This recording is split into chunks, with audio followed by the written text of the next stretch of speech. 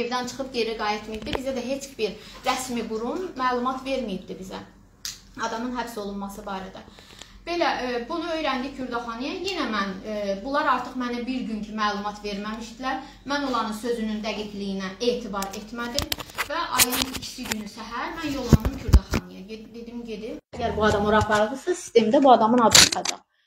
Çatdım ora, məlumat verdim. Sistemə e, baxdılar. Mənə məlumat verdilər ki, bəli, Ailə Yəhyayev burdadır, Kürdaxaniyə gətirilibdi. Hə, mən dedim ona elə bir də sadəcə ə, o həyəcanda bir dəst paltar götürmüşdüm ki, adam yəni normal paltar olsun, məhkəməyə də çıxsa geyinməyə. Hə, paltarı verdim, qapıdan çıxdım, gəldim. Dedilər gün ərzində sizdən əlaqə saxlayacaq. Hə, gəldim evə, axşam saat 5-də o mənə zəng vurdu evə. E, ümumiyyətlə bu bütün bu həbslərində o heç vaxt telefonda ilk zəngində nə işgəncə olma. Ümumiyyətlə telefonda o bizə işgəncə barədə heç nə demir. Ya məhkəmədə deyib, ya görüşdə deyibdi. Amma bu dəfə onun telefonu götürən kimi ilk kəlməsi bu oldu. Məni Mehdiabad svetoforunda saxlatdırdılar narkobiznesin işçiləri. Mehdiabad polis bölməsinə apardılar, işgəncə verdilər. Yəni salamdan sonra ilk kəlməsi bu oldu. E soruşmadı, nə var, nə Dedim sənin xəbər. Konkret olaraq dedim ya, necə işgəncə verdilər? Dedi iş işgəncə olundum. Yəni işgəncə olundum. Yəni ağır işgəncələr görürəm, yəni fiziki işgəncə. Yəni burada tək e, psixoloji getmir. Fiziki işgəncə gördüyünü dedi. Çünki o artıq nisbə işgəncə olunub, o deyərdi ki, fizikidir ya psixolojidir. Dedi, fiziki işgəncə görmüşəm. Ağır, e, hətta e, dedi çox ağır şeylər oldu. Dönə-dönə bu cümləni təkrarladı. Çox ağır şeylər oldu. Dedim, bəs nə oldu? Sən razılaşdınmı onların dediyini? Deyir, mənə dedilər ki, sən yuxarıdan əmr gəlib, getməlisən. Yəni bunu götürüb getməlisən. Bir canlı yayıma təkrar qoşuldu. Adını təkrar qeyd edərdiniz? Həsənova Şəhanə. Kimdən ə, söhbət? Yəhyayev Ağalı Eldaroğlu, Müsəlman Birliyi Hərəkatının idarə heyətinin üzvü. Şahin xanım, bəs ə, həmin bu müddət ərzində ağalıların həmsini Üzrsən, götürüb getməlisən, nə nə nəzərə? Yəni boynuna almalısan da bu narkotik. Sənin tutulma əmrin gəlibdi. Narkotiki götürməlisən. Belə deyirlər. 234.4.3. Mən də ona ə, inansız çox narahat halda dedim ki, dedim necə yəni sən qəbul elədin, bunu imzaladın? Dedi, hə, çox ağır şeylər oldu, mən məcbur qaldım. Dedim, niyə? Mən həqiqətən uca orada çox pis oldum. Bilirsiniz niyə? Çünki biz ailə ilə bu son bu ə, həbs olunan dindarların məhkəmələrinə gedirik. Hamısı da narkotik ittihamı ilə, yəni ə, mühakimə olunurlar da, bilirsiniz. O həmişə məhkəmədən çıxanda biz söhbət eləyirik bu barədə. Biz artıq onun, yəni həbs yoldaşıyıq da, belə deyək. Ə, söhbət eləyəndə o deyir, həmişə deyir ki, Deyir, e, niyə bunlar deyir qol çəkib qəbul edirlər də? Yəni qoy adama bir şillə, bir təpik dəysə nə olacaq ki? Yəni bu adam e, fiziki işgəncədən qorxub nə isə qəbul edən insan deyil. Çünki o artıq çox ağır işgəncələr görüb, görmüş insandır. Deyir ki, yəni adama bir şey, təpik şillə dəyməmiş ə, e, qəbul edib ki, ə, e, yəni qol çəkibdi də bu şeyə. Yəni mən bundan bilirəm ki, bu adam işgəncə ilə və yaxud da öz xoşu ilə imza atan bir şəxs deyil. Və belə bəlli olur ki, o deyir ki, çox ağır şeylər oldu. Dedim, sən işgəncədən qəbul etməzsən axı, deyir, qarşıma ağır şeylər qoydular. Siz də ilk bu sual verdiniz. Bəli, dedim ki, sən axı işgəncə ilə, yəni qəbul e, buna imza atmazsan axı, dedi ki, çox ağır şeylər oldu, qarşıma ağır şeylər qoydular. Mən onlarla, onların dediyinə getməli oldum. İstəməzdiniz, yəni qəbul etsin. E, yox, əlbəttə ki, çünki sizin yoldaşınızın İranla hansısa bir Siz yəni istəməzsiniz heç qəbul olunmasın. Yox, yox. Çünki bəllidir də biz o inancılı şəxsdir, siqaret çəkməyən. Yəni narkotik ümumiyyətlə bizə yəni yad bir kəlmədir. Bu kəlmənin bizim adımızla uyğunlaşması belə yəni aid deyil də. Yəni bunun aidiyyəti yoxdur. Şəhər xanım, bəs e, bu müddət keçib, hansı ki 4-5 gün müddət keçib, bu müddət ərzində vəkili görüşə bilibmi? E, vəkillə təmin olunubmu? Bu barədə nəsə bilirsinizmi? Vəkili Zibeydə xanım Sadıqovadır. Çünki onun bundan əvvəl bu yaxınlarda bir cərimə cəzası olmuşdu ona qarşı. O cərimə cəzasına görə o Zibeydə xanımdan müqavilə Zibeydə xanım həmin işi Avropa məhkəməsinə göndərmişdi. Ona görə artıq onun, yəni vəkili idi. O özü də həmişə bayırda olanda eh, dönə-dönə deyirdi ki, mən nə vaxt həbs olunacam, Zibeydə xanıma da bu sözü demişdim bizə də ki, məni Zibeydə xanım müdafiə eləyəcək də. Yəni o gündən də bəra hə onu deyim ki, həmin o həbs olunan andan etibarən mən 102-yə ombudsmana zəng vurandan sonra Zibeydə xanıma zəng vurub məlumat vermişəm. Zibeydə xanım Bütün gecəni mənlə bərabər onu axtarıb, bütün bölmələrə zəng vurub, bütün hər yerdən bu adam barəsində məlumat almağa çalışıb, ona heç bir məlumat verməyiblər. Görüşə bilibmi? Yox, görüşməyib. Bu gün hələ o, çünki 5-ci günü biz artıq bildik ki ona e, qarşı cinayət işi açılıbdı.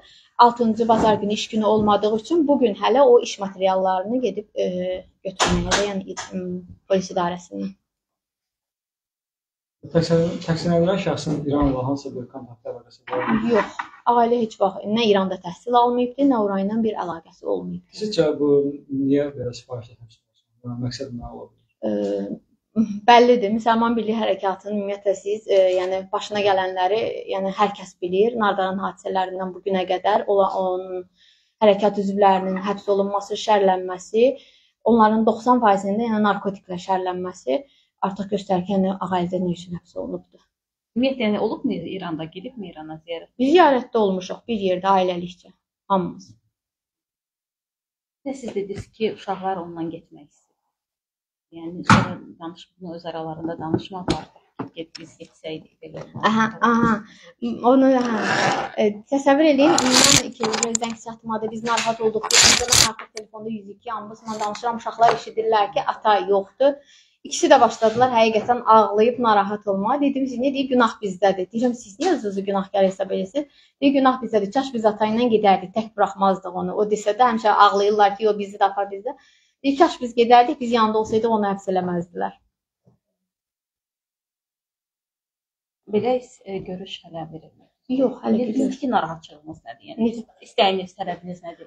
Tələbim odur ki, yəni aidiyyatı qurumlar, ə, aidiyyatı qurumların məsuliyyətsizliyi artıq göz qabağındadır. Bu insanı həbs eləməklər az deyilmiş kimi bir gün bizə yaşatdıkları o stres, yəni mən indiyə qədər onun nə birinci, nə ikinci, nə üçüncü həbsində o stresi yaşamamışdım. Yəni o bir gün onun həmişə həbs olunub, bilmişik harda tut, hara gedib, polis tutubdu. Yəni sırazı bilmişik də. Bu gün on, bu dəfə onun bu bir sutka ki, məlumat ala bilməmək həqiqətən bizə o həbsdən də ağır gəldi. Biz onun e, narahat idik sağ sağlığından. E, və o özü həmişə deyir ki, məni bu dəfə deyir tutmayacaqlar, öldürəcəklər.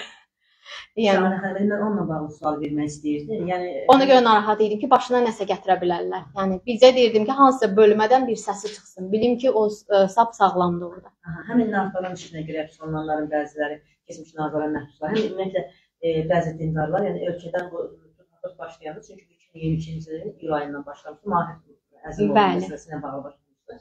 Yəni o vaxtdan başlayaraq ölkəni tərk elədilər. Yəni əhali bilirdi ki, o, o həbs olunacaq. Hətta ona e, ötən il e, may ayında o Razı Hümmətov məhkəməsinə tutulmağı hədələmişlər. Artıq məhkəmələrə Gəlmə.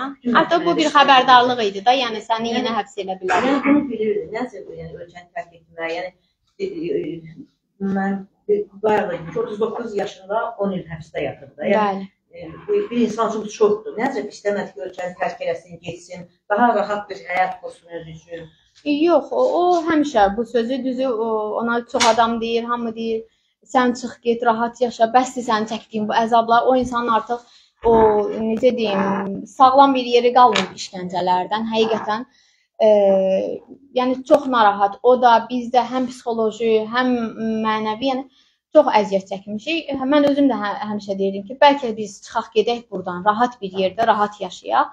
Deyirdi, yox, bura mənim vətənimdir, Azərbaycan vətəndaşıyam. Mən vətənimi qoyub niyə harasa getməliyəm? Niyə? Mənim mən, yəni mən mənim nə günahım var, nə bir e, cinayətim, nə bir qəbahətim var ki, mən çıxam qaçam burdan.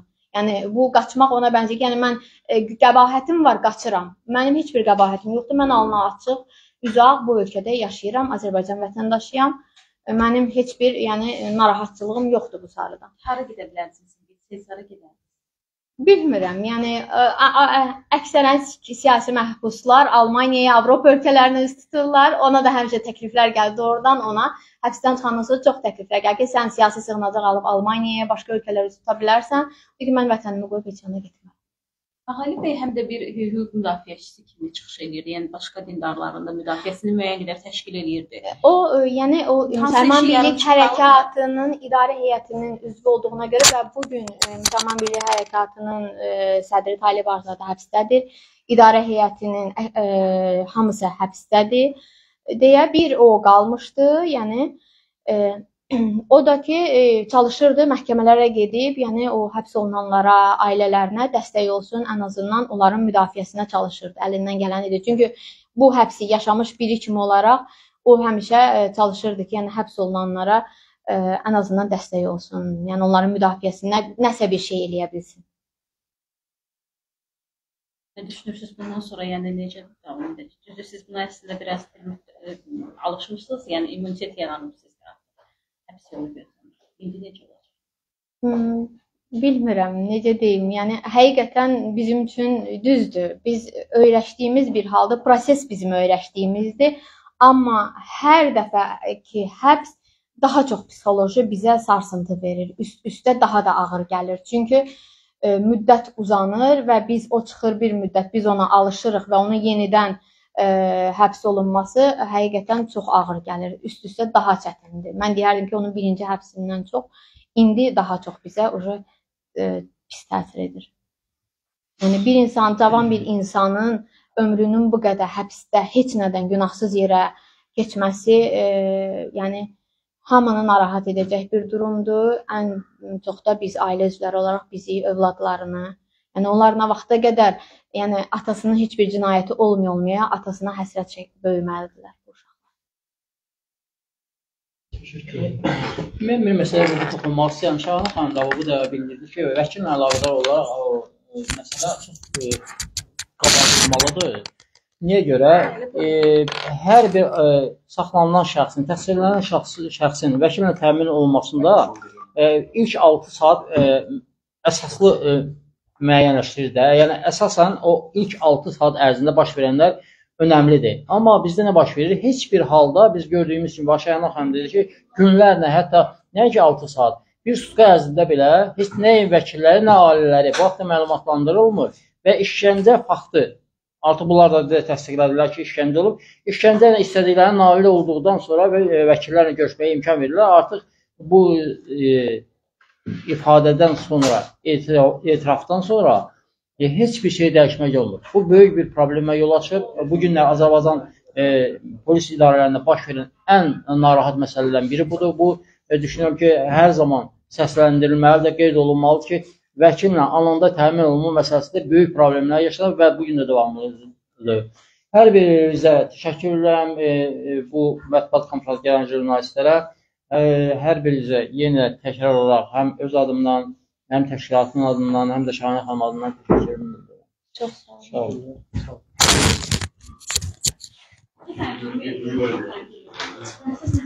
Yəni belə